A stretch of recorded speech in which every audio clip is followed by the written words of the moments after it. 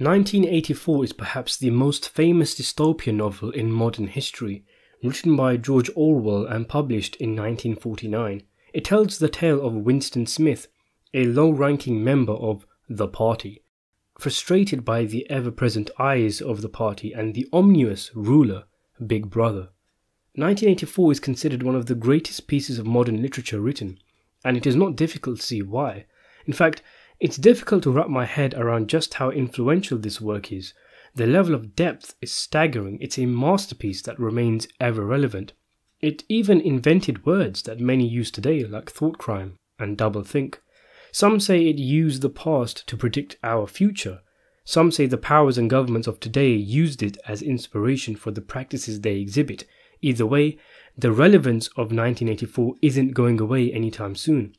Especially living in 21st century Great Britain, 1984 sometimes comes off as an outline of the life of the average working Joe in the country today.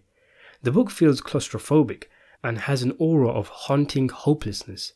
It's very well engineered, precisely structured and cold, depressing and hard, and yet warm and heartbreaking. Orwell seems intent on slapping all the major Western political systems repeatedly across the face in his book. This is one of those books that makes you take a minute and think about your own life, about the structure of the society you live in, and it makes you question just how much you really know about what's going on around you, about what you know of history and where real power lies. Today's dictatorships aren't spearheaded by charismatic and colourful leaders, they are disguised as democracies. Today's colonialism doesn't involve chaining up natives and sending them over on boats it involves the economic slavery of entire nations, as well as all the political messages and depth that no doubt has given countless studying university students sleepless nights as they struggle to complete their thesis. It is a really entertaining read on a surface level about a man looking to escape from the totalitarian society he lives in.